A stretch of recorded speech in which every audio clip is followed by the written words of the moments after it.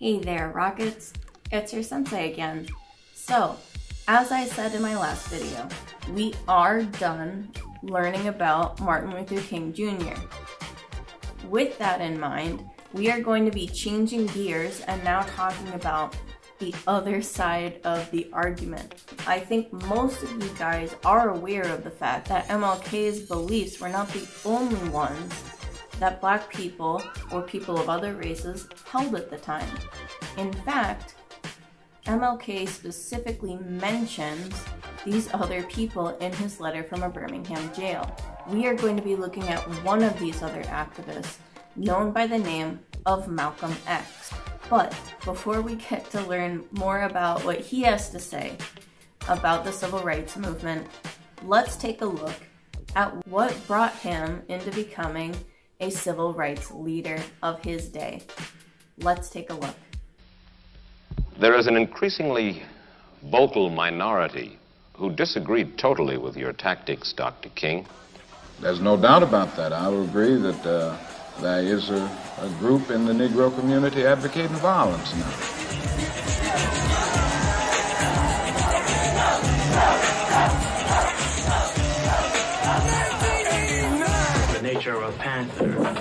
Panther doesn't strike anyone, but uh, when he's assailed upon, that he'll back up first. But if the aggressor continues, then he'll strike out. I think we've got to see that a riot is the language of the unheard. In the rhythm I'm rolling. Gotta give us what we want. Gotta give us what we need. Hey. Our freedom of speech is freedom of death. We got to fight the powers that be. Fight the power. The mood of the Negro community now is one of urgency, one of saying that we aren't going to wait, that we've got to have our freedom.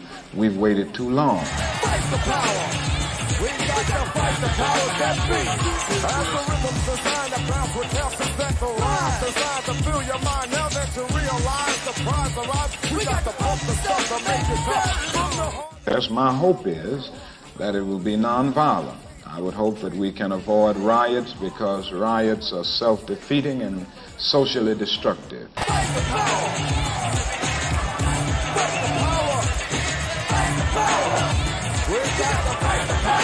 The!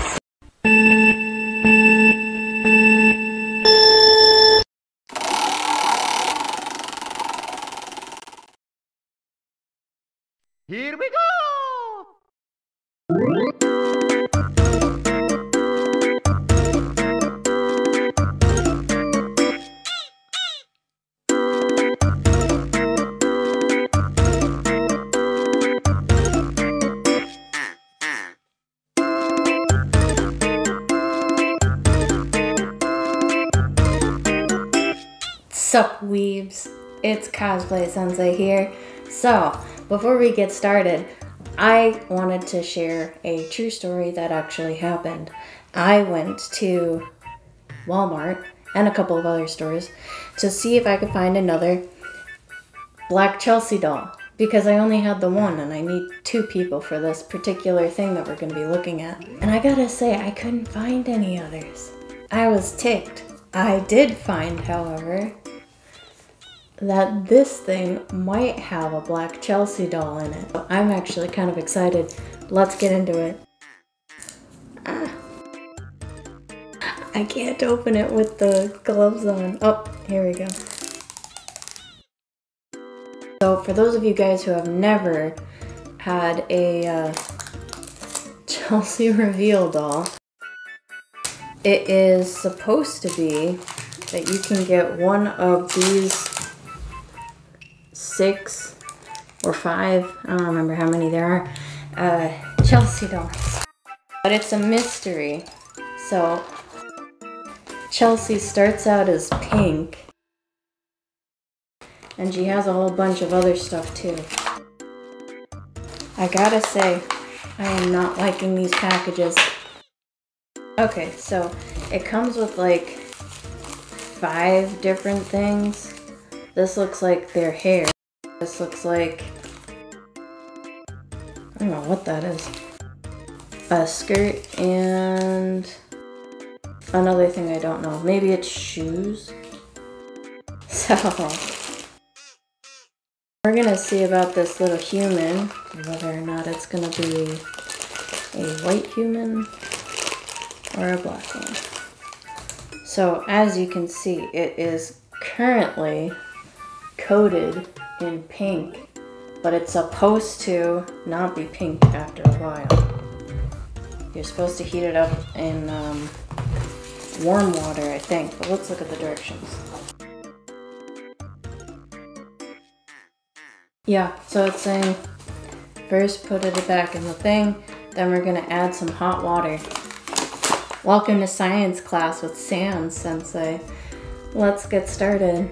So I have here some warm water. Time to give it a bath. I see some uh, black hair is emerging. I think I'm supposed to give it a shake maybe.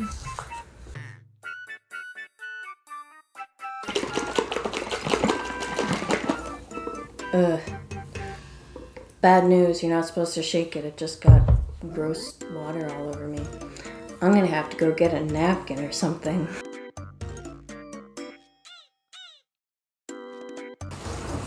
Okay. So, got some things to pull it out too. I don't want to ruin my gloves. Remember kids, don't do this without parent supervision. Let's see, we know it has black hair, so where's that thing? I don't know, it could be, it could be. Let's check. Remember, we're hoping to get Black Chelsea, another Black Chelsea. It's like most of the pink got taken off. Okay, who's ready? Let's see. Is it gonna be white or black? Let's check. Oh no. What is this? Oh, dang it. This is definitely not black. I promise I'm not trying to drown it. I just, I need to get the pink off of its head. well, my disappointment is immense. However, I guess now um, White Chelsea has another friend to pick on people with. Guess I have to go back to the store. Two hours later. Good news. I did find some black Chelseas. hey there, weaves. We're gonna learn about Malcolm X today. Malcolm X probably got his inspiration for becoming a civil rights leader from his father. His father was very fierce about black people having rights, which got him in a lot of trouble with the KKK. Because of this, Malcolm X had to move from many different states before eventually his father was killed mysteriously in a streetcar accident. Now, I say mysteriously because it's very possible that Malcolm X's father was actually murdered, although this hasn't been formally confirmed by anyone yet. After Malcolm X's father died, his mother also was thrown into a mental institution for insanity. Again, it's difficult to say whether she was truly insane or if somebody was just pulling a really bad prank. Because of this, Malcolm X was sent from foster home to foster home until eventually he grew up with not a whole lot of dreams. In fact, the one dream Malcolm X did have, becoming a lawyer, was completely shot down by one of his teachers. I hope this never happens to you guys, but please, don't ever let your teacher tell you you can't have the dream that you want. When Malcolm X grew up, he decided he was going to start living that thug life. He became a drug dealer, he would steal things, among many other criminal activities, which eventually got him put in the slam. Now, while Malcolm X was there, that's where he was converted to Islam. Somebody came to him asking him if he wanted to join the Nation of Islam. And uh, although Malcolm X definitely refused quite a few times, eventually Malcolm X said, Sure, I'll do it. And because he became a good Muslim, because he started doing all these good things in jail, he got out early and joined the Nation of Islam for real. Now, one thing they noticed immediately was that Malcolm X was really good at speeches. And so Malcolm X was usually used by the Nation of Islam to teach other black people about how they are being treated poorly, how they are actually the master race, and that white people are the blue eyed devil, which is a quote from Elijah Muhammad. Now, this all sounded pretty good for black people who are really sick and tired of white people always telling them what to do. And Malcolm X loved what he was teaching them. He was very good at it. We've seen some of his speeches. He's fierce and determined, but something wasn't sitting right with Malcolm X. After a lot of being with the Nation of Islam, it became obvious the Nation of Islam was not following the religion the way that it should have been. One of the biggest reasons is that their leader, Elijah Muhammad, not only slept with teenage girls, but also got them pregnant and hid them away so that they wouldn't tell anybody about what happened. Because of things like this and more, Malcolm X was very upset with the Nation of Islam. But he didn't want to leave Islam entirely. Instead of being a part of the Nation of Islam, Malcolm X decided to just follow Islam itself and became a Sunni Muslim. Now, for those of you guys who.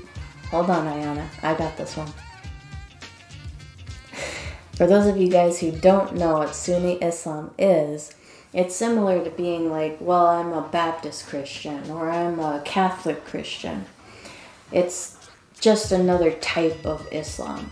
So Malcolm X became Sunni Muslim and one of the things that he had to do was go on a Hajj pilgrimage. Hajj pilgrimage basically is when you have to go all the way to Mecca and do a certain amount of rituals there, and then you fulfilled the Hajj pilgrimage thing. Malcolm X went on Hajj pilgrimage. He went to Mecca, and while he was there, he noticed something that changed his life forever. You see, while he was worshiping in Mecca, he noticed that, yeah, there were black people there also worshiping, but more importantly to him, there were white people worshiping as well. Now, this made Malcolm X realize something very important. You see, before, the Nation of Islam, because they were treating white people as if they were the blue eyed devil, they obviously didn't want them working with him. And neither did Malcolm X. He didn't want to. He only wanted to work with other black people and thought that white people were a waste of time. But after worshiping with white people, Malcolm X realized that he made a mistake. And when he came back to America, he started changing the things that he was saying to his followers. He still gave those amazing speeches, however, this time he didn't quite put down white people. Instead, Malcolm X focused particularly on making sure that black people were self determined and that they knew that they had the power to protect themselves by any means necessary.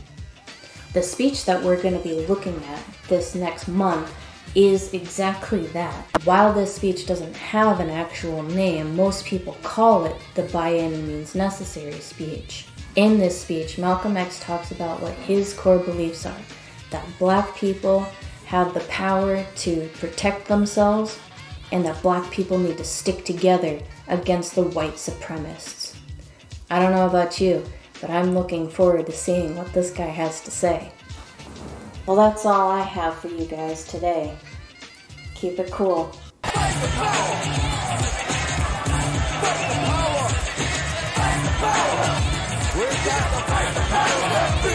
Welcome back, Rockets.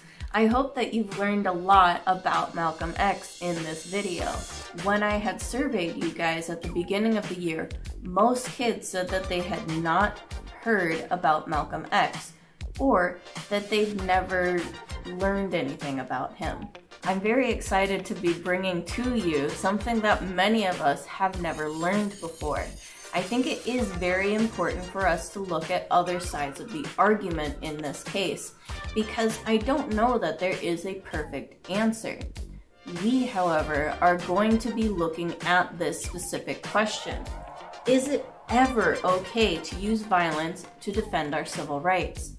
Some of you might think, no, it's never okay to use violence, while others of you, even though we've spent all this time with MLK, have still held firm to the idea that violence has to be used sometimes.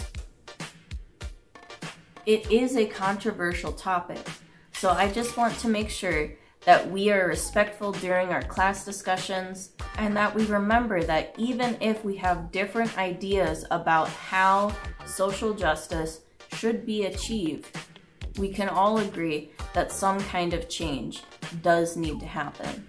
All right, guys, well, that's all the time that we have for today. So I will see you in class. Have a good one, Rockets.